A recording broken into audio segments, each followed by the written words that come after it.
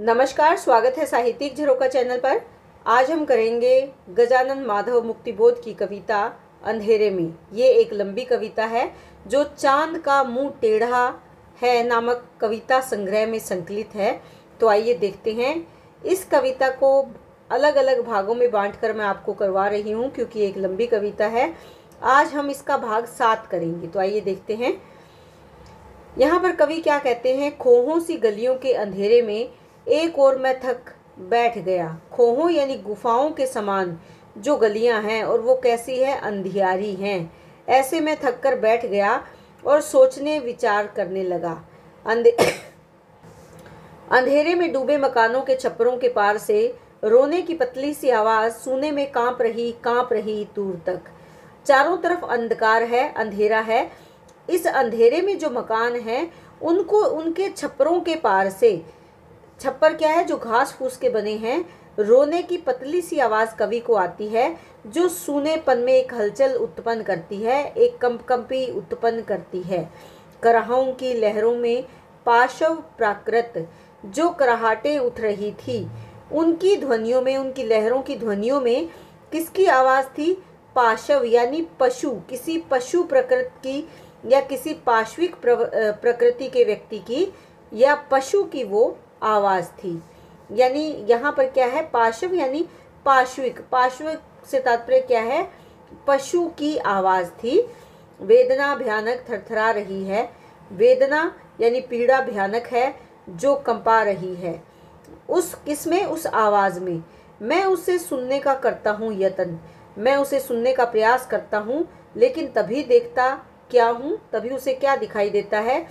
सामने मेरे सर्दी में बोरे को ओढ़कर कोई एक अपने हाथ पैर समेटे काँप रहा, हिल रहा, वह मर जाएगा। कभी खुद के सामने ही देखता है कि कोई है जो ठंड में बोरे को ओढ़कर, बोरा क्या है जो जूट का बना हुआ बैग या बोरा जिसको कहते हैं, बड़ी बोरी, उसको उसने ओढ़ रखा है और अपने हाथ पैर उसमें ढकने का प्रयास कर रहा है। लेकिन वो काँप रहा है, हिल रहा है। कंप कंपे के कारण उसका शरीर हिल रहा है।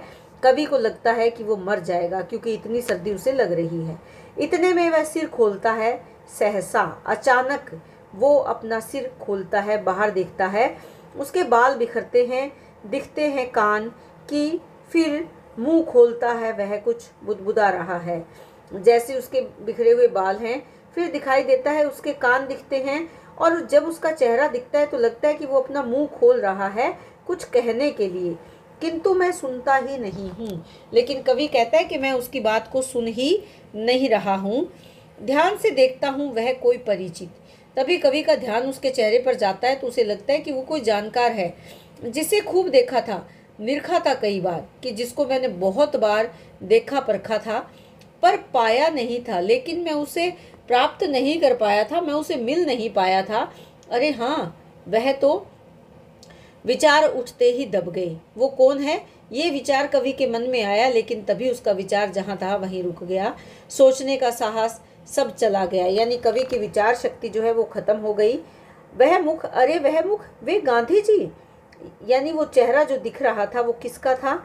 गांधी जी का। इस तरह पंगु, यानी असहाय, अपाहिज हैरानी होती है कवि को। नहीं नहीं, वे जाँच पड़ताल, रूप बदल कर करते हैं चुपचाप। कि नहीं, वो शायद जाँच पड़ताल करने आए हैं। किसकी? समाज की। और कैसे अपना रूप बदल कर यानी अपना वेश बदल कर सुराग रसी सी कुछ, यानी रहस्यमयी या कुछ ढूँढने का प्रयास शायद वो कर रहे हैं, कुछ जासूसी कर रहे हैं, शायद ऐसा ही कुछ है। तो यहाँ पर कौन सा अलंकार है? उपमा अलंकार है। ध्यान रखें अंधेरे सी शाही में डूबे हुए देव को सम्मुख पाकर देव कौन है? जो गांधी जी हैं। महापुरुष या देव? चारों ओर बिखरे हुए अंधेरे में उनका चेहरा देखकर, उन्हें अपने सामने देखकर मैं अति दीन हो जाता हूँ। पास की बिजली का झटका कहता है कि मेरी स्थिति कैसी हो जाती है?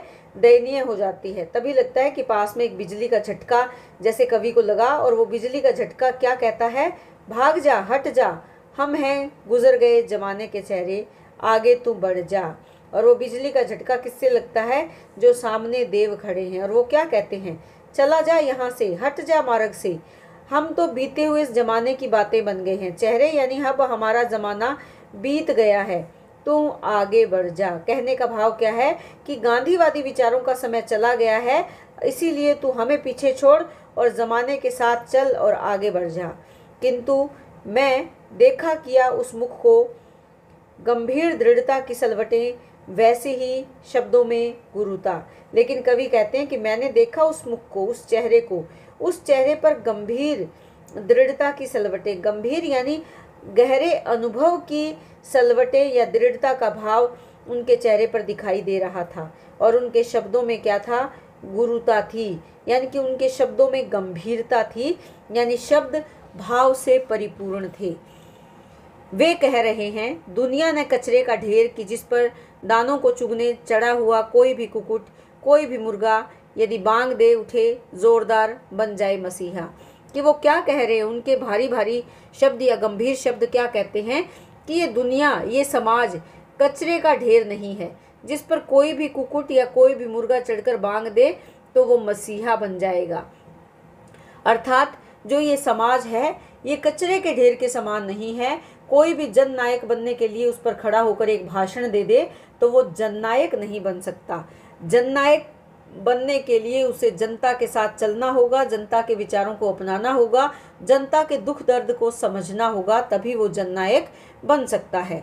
वे कह रहे हैं मिट्टी के लोंदे में किर, किरगिले कण कण कण गुण हैं कि मिट्टी के लोंदे में जिस प्रकार उसके प्रत्येक कण कण में मिट्टी के लोंदे में किसके गुण होते हैं? उसी के, यानी मिट्टी का ही कण कण उसमें समाया रहता है। जनता के गुणों से ही संभव है। किसमें? समाज में। जनता में समाज किससे बनेगा? जनता के गुणों से। जैसे मिट्टी का लोंदा उसके कण कण को इकट्ठा करके बनता है, वैसे ही समाज किससे बनता है? जनता के गुणों से ही समाज का निर्माण होता है। भावी का उद्भव गंभीर शब्द वे और आगे बढ़ गए भावी यानी आने वाले नए समय का उद्भव।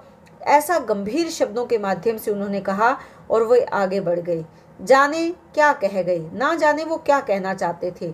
मैं अति उद्विग्न यानी मैं बहुत ज़्यादा व्याकुल या बेचैन था। एकाएक उठ पड़ा आत्मा का पिंजर। आत्मा का पिंजर किसका? गांधी जी की आत्मा का जो पिंजर था, वो अचानक से मेरे सामने उठ खड़ा हुआ। मूर्ति की ठठरी और वो मूर्ति बनकर मेरे सामने खड़े थे। उस पर क्या था? नाक पर चश्मा था, हाथ में उनके डंडा था, कंधे पर बोरा था। ये बोरा कौन सा है? जिस बोरे से उन्होंने अपने शरीर को ढक रखा था, लेकिन उनकी बाह में बच्चा था। आश्चर्य कवि को हैरानी होती है। अद्भुत! यह शिशु कैसे? कि ये बालक अचानक गांधी जी के पास कहाँ से आ गया? ये बालक कौन है? गांधी जी के विचार हैं, जो उनके हाथ में है। मुस्कुरा उस द्वितीय पुरुष ने कहा, तब तब उस प्रकाशित द्वितीय पुरुष, यानी जो प्रकाशवान है, जो भाव से परिपूर्ण पुरुष हैं गांधी जी उन्होंने कहा, मेरे पास चुप चुप, चुपचाप सोया हुआ था। कौन? यह बालक किसका? गांधी जी के विचारों का प्रतीक कौन है? बालक है। संभालना इसको, सुरक्षित रखना, कि ये मेरा बालक है या ये मेरे विचार हैं। तुम इसे संभालना, इसे सुरक्षित रखना मैं कुछ कहने को होता हूँ। कवि कहता है कि मैं कुछ कहने के लिए तत्पर हूँ। इतने में वहाँ पर कहीं कोई नहीं। गांधी जी उसके सामने से गायब हो जाते हैं या अंतर ध्यान हो जाते हैं। कहीं कोई नहीं है। और ज़्यादा गहरा, वह और ज़्यादा अकेला अंधेरे का फैलाव। चारों ओर बहुत गहरा, अकेला, सन्नाटा और अंधेरा फैल जाता है। बालक लिपटा है, मेरे इस गले से चुपचाप। तभी कवि को अनुभव होता है कि वो बालक रूपी जो विचार है, वो कवि के गले से चुपचाप चिपका हुआ है, लिपटा हुआ है। छाती से कंधे से चिपका है नन्ना सा आकाश। और कवि को उस बालक के गोदी होने का अनुभव कैसे होता है कि एक छोटा सा आकाश छाती और कंधे से जैसे आकर चिपक गया है। आकाश यानी उम्मीद, संभावना और वो यहाँ पर कहना चाहते हैं कि वो कैसे उसी के साथ वो आकर जैसे चिपक गया है। स्पर्श है सुकुमार, प्यारा सा कोमल। उसका स्पर्श कैसा है? बहुत ही प्यार से भरा हुआ और कोमलता परिपूर्ण, किंतु है भार का गंभीर अनुभव। लेकिन कवि को उसका बहुत अधिक भार अनुभव होता है। भाव, भावी की गंध और दूरियाँ अंधेरी। भावी यानी भविष्य की सुगंध उसमें भरी हुई है, लेकिन वो दूर दूरियाँ अंधियारे से भरी हुई हैं। आकाशी तारों को एक साथ लिए हुए मैं चला जा रहा हूँ। मैं जैसे जैसे आगे बढ़ रहा हूँ, मुझे लगता है कि आसमान के सितारे भी मेरे साथ आगे बढ़ रहे हैं। घुसता ही जाता हूँ फासलों की, खोहों की तहों में। मैं घुसता चला जा रहा हूँ, उन दूरियों की अंधेरी गुफाओं में। सहसा रो उठा कंधे पर वह शिशु और अचानक से वो बालक, जो गांधी जी ने मुझे दिया था। यानी गांधी जी के विचारों का प्रतीक जो शिशु है, वह अचानक से रो उठता है। अरे अरे, वह स्वर अतिशय परिचित। लेकिन तभी कवि को लगता है कि ये आवाज़ तो बहुत ज़्यादा परिचित है, यानी मैं इसे जानता हूँ। पहले भी कई बार कहीं तो सुना था। इसे तो मैं पहले भी सुन चुका हूँ। उसमें तो एक स्फोट है, एक ध्वनि है, एक शोभ का भाव है, गहरी है शिकायत। और उसके रोने में क्या है? एक शिकायत भरी हुई है। क्रोध भयंकर की बहुत ज़्यादा गुस्सा है। मुझे डर यदि कोई वह स्वर सुन ले। कवि कहता है कि मुझे डर है कि अगर कोई इस स्वर को सुन लेगा तो हम दोनों फिर कहीं नहीं रह सकेंगे। क्यों? क्योंकि अब गांधी जी के विचारों का समाज के लोग कोई महत्व नहीं समझते हैं। तो अगर ये विचार किसी ने सुने तो वो हम दोनों को मारेगा या हमारा विरोध करेगा। मैं पुचकारता हूँ। मैं उसे चुप करवाने की कोशिश करता हूँ। बहुत दुलार भी देता हूँ। समझाने के लिए मैं तब गाता हूँ गाने।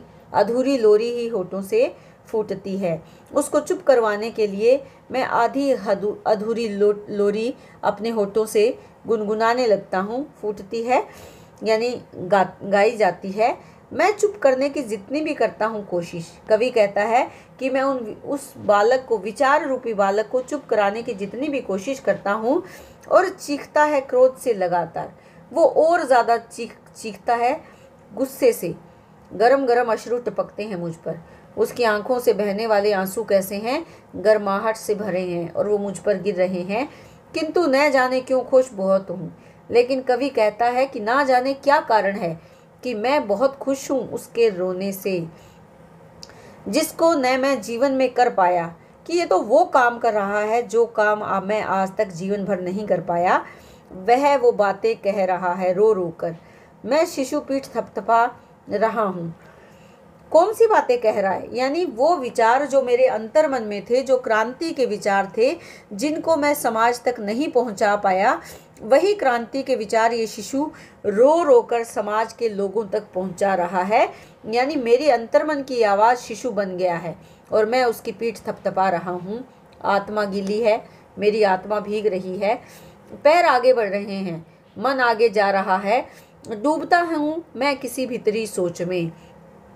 मेरे पैर आगे बढ़ रहे हैं, मेरा मन खुश है और वो आगे के बारे में सोच रहा है, तभी मैं डूब जाता हूँ अपने मन की किसी गहरी सोच में या विचार में।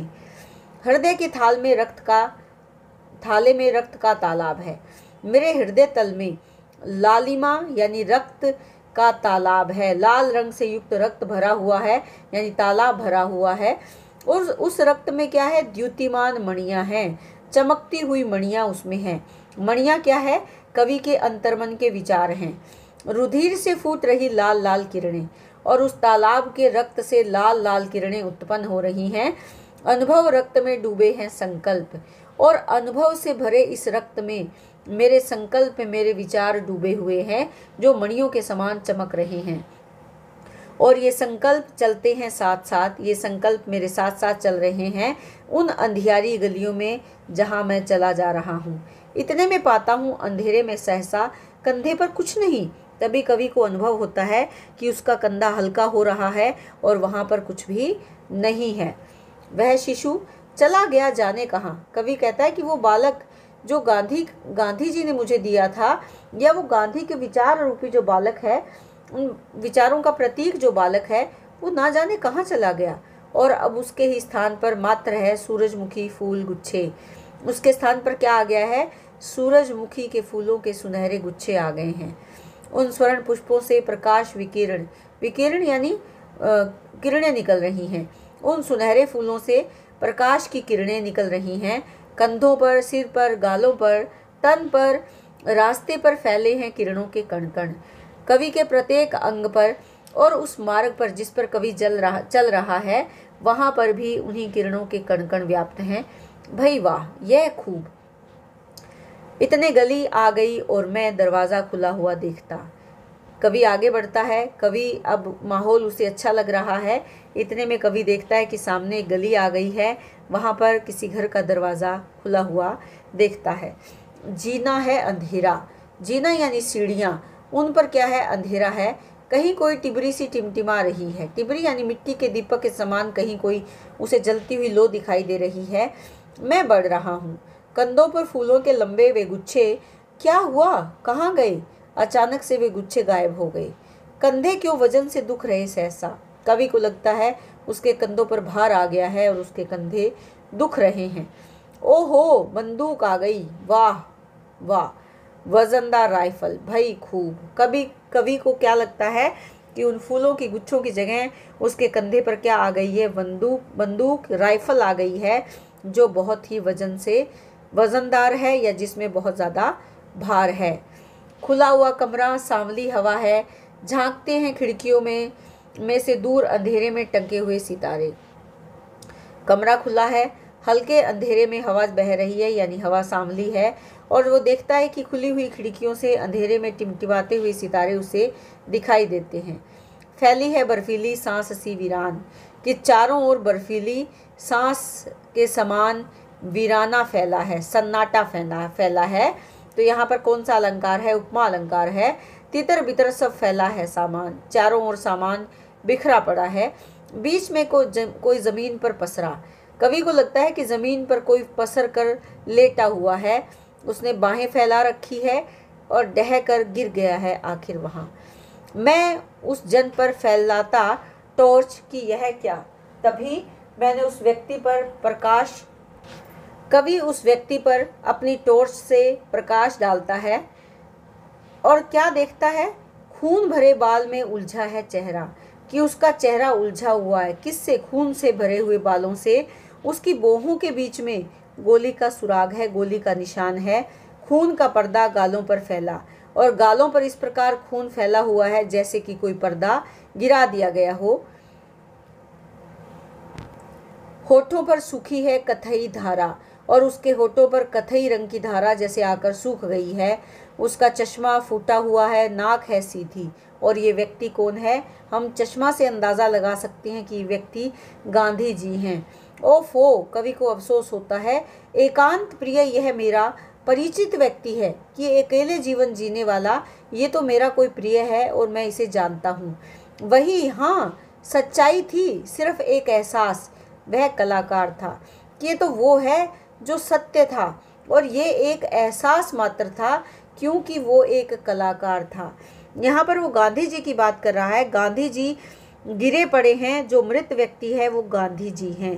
क्योंकि गांधी जी के जो विचार हैं, वो समाज में हमने इनको धीरे धीरे मार डाला है, इनको समाप्त कर डाला है। इन विचारों को अब हम कोई भी अहमियत नहीं देते। इसीलिए कवि यहाँ पर कहना चाहता है कि उस उस, उनको देखकर कवि अफसोस व्यक्त करता है कि ये एक एकांत एकांत प्रिय व्यक्ति और ये कवि का परिचित है। कवि इसे अच्छी प्रकार से जानता है।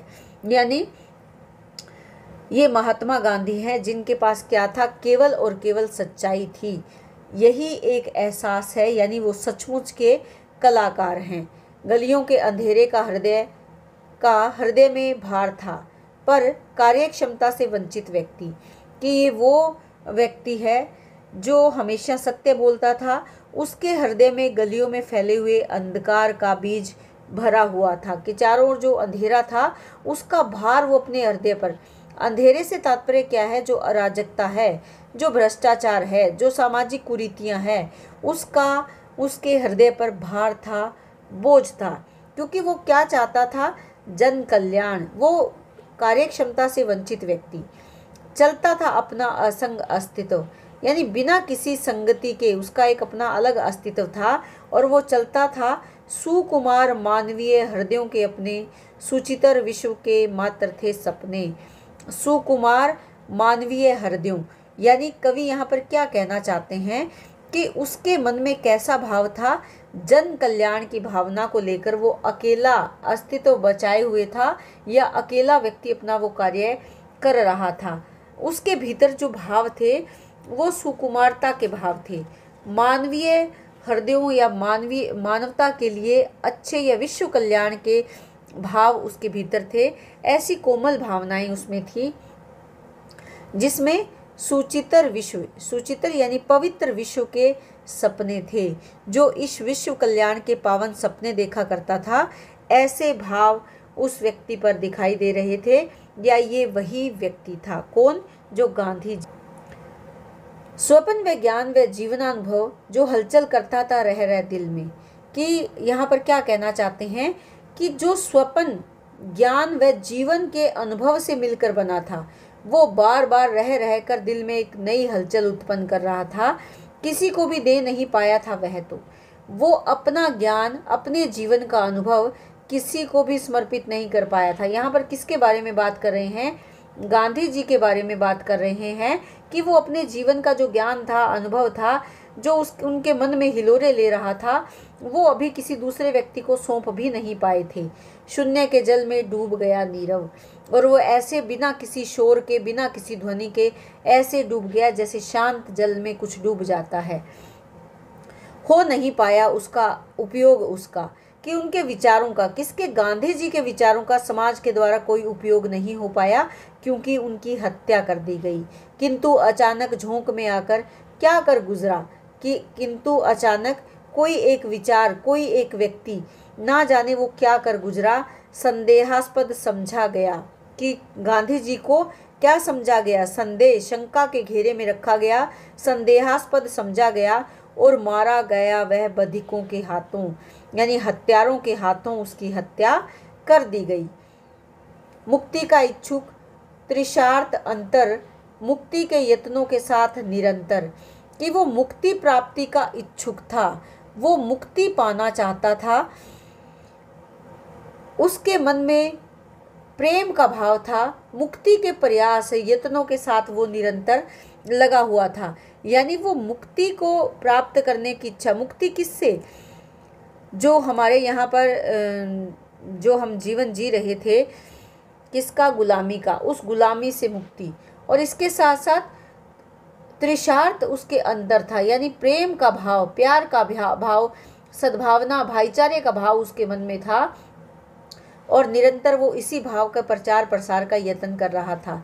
वो सबका प्यारा, अपने में द्युतिमान। यानी उसके चेहरे पर एक अलग ही चमक थी। उसका अपना एक दीप्त चेहरा था या उसके अपने विचारों की एक अलग ही चमक थी, उनका यों वध हुआ और संसार में ऐसे व्यक्ति को इस प्रकार की मृत्यु प्राप्त हुई या ऐसे उनका वध कर दिया गया, मर गया एक युग। और केवल वो एक व्यक्ति विशेष नहीं गया, बल्कि उसके साथ एक युग की समाप्ति हो गई। मर गया एक जीवन आदर्श, कि वो जीवन का एक आदर्श था, जिसको मार दिया गया। इतने में मुझको ही चिढ़ाता है कोई। कवि कहते हैं कि इतने में मुझे किसी के चिढ़ाने का एहसास होता है कि कोई मुझे चिढ़ा रहा है। सवाल है, मैं क्या करता था अब तक? और क्या सवाल मेरे सामने खड़ा कर रहा है कि मैं अब तक क्या कर रहा था? मैंने अपने जीवन में अब तक क्या कार्य किया है? भागता फिरता था सब और कि मैं तो अब तक अपने जीवन में इधर उधर भाग ही रहा था। तो उम्मीद करती हूँ कि कविता आपको बहुत अच्छे से समझ में आ रही है। इस इन पंक्तियों में कवि अपने अंतर्मन के साथ साथ गांधी जी की विचारधारा का का यहाँ पर समायोजन कर रहे हैं कि जनता के कल्याण के लिए गांधी जी ने किस प्रकार अपना बलिदान दे दिया और आज वही गांधी जी किस प्रकार हर गली चौराहे पर हमें मरे हुए नज़र आते हैं। यानी उनका वध कर दिया गया है। कहने का भाव क्या है कि गांधी जी के विचारों की हत्या कर दी गई है। गांधी जी के विचारों को खंडित कर दिया गया है और वो उनकी समाप्ति, उनके विचारों की समाप्ति एक युग के समाप्त होने के बराबर है। तो यहाँ पर कवि बताना चाहते हैं कि समाज में कितना परिवर्तन आ गया है। समाज का कल्याण, जनता का कल्याण यहाँ पर सर्वोपरि नहीं है, बल्कि स्वार्थ की प्रवृत्ति, भ्रष्टाचार की जो ढोंग, आडंबर, इस तरह के जो भाव हैं वो हमारे समाज में व्याप्त होते जा रहे हैं। तो इसी तरह चैनल से जुड़े रहें लाइक करें शेयर करें सब्सक्राइब करें।